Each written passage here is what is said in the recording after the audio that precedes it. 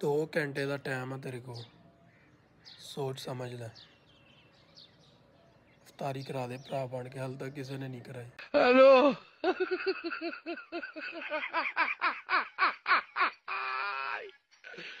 Hola,